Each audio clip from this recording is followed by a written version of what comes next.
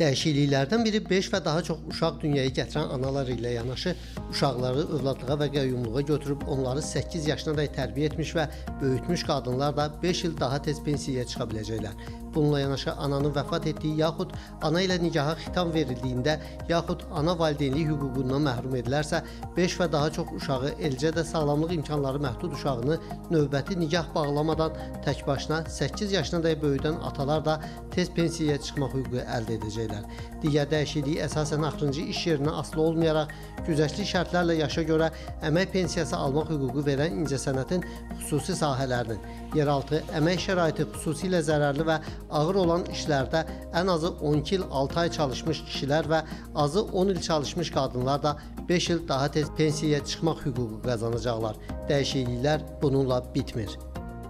Xüsusi bir dəyişiklik güzəştli şərtlərlə pensiyaya çıxanlarla bağlıdır.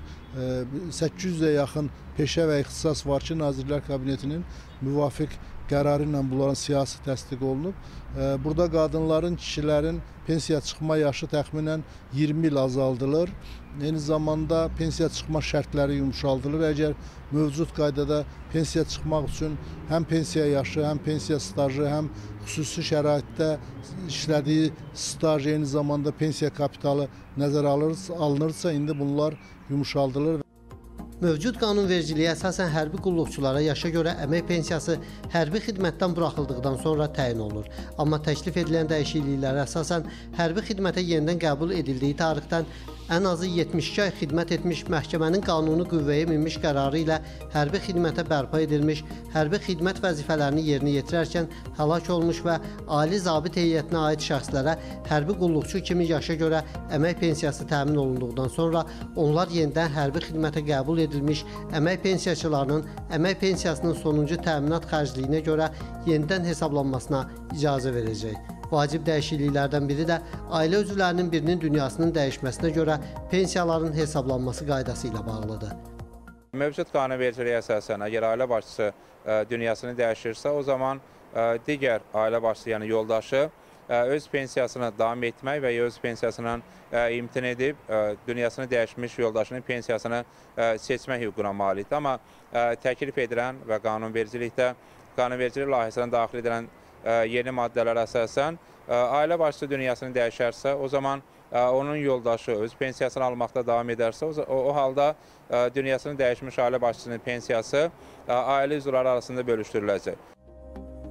Dəyişikliklərə əsasən pensiyaçının əmək pensiyasının bir növündən başqa növünə keçmə hüququ var.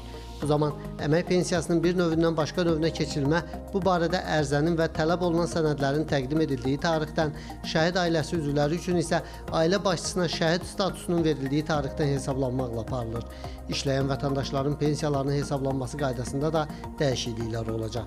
Belə ki, təklif olunan yeni redaksiyaya əsasən yaşa görə əmək pensiyasının pensiya təyin olunan günədək qazanılmış sığorta hissəsi tam məbləğlə ödənilir və pensiya təyin olunduqdan, yenidən hesablandıqdan sonraki dövr üzrə qazanılan sığorta və yığım hissələri üzrə pensiya kapitalının toplanması davam etdirilir. Ümumilikdə əmək pensiyaları haqqında qanunun 10 maddəsinə 43 dəyişikliyi nəzərdə tutulub. Bu dəyişikliklərdən bəziləri redaktə xarakterlidir. Digərləri isə əmək pensiyaçılarının maddi rifah halının yaxşılaşdırılmasına hesablanıb. Hesablamalar göstərir ki, bu dəyişikliklərdən 20 mindən artıq pensiyaçı faydalana biləcək. Rövşən Əliyev, Elçin Tağıyev, İqtisadiyyat xəbərləri.